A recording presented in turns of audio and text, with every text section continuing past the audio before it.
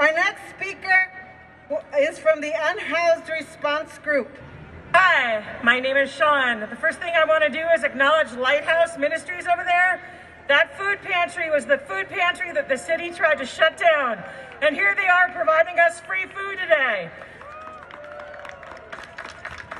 So please get some free food, support them, and realize how much they support our community, particularly the unhoused folks. Um, I just wanted to give some statistics. Last year, 250 unhoused people died on the streets of Santa Clara County. 145 of them were people of color.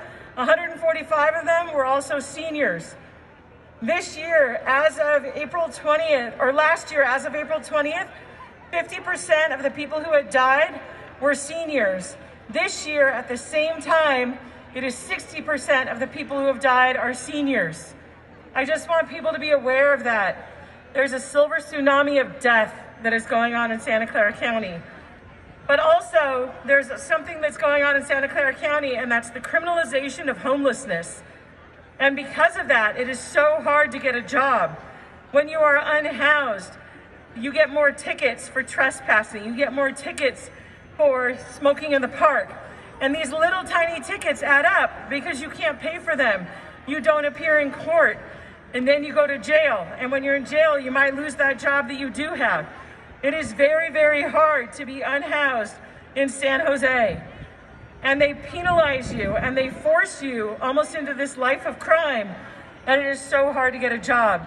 And then when people hear that you are unhoused or you don't have an address, they don't want to hire you because they assume that you're some dirty drug addict.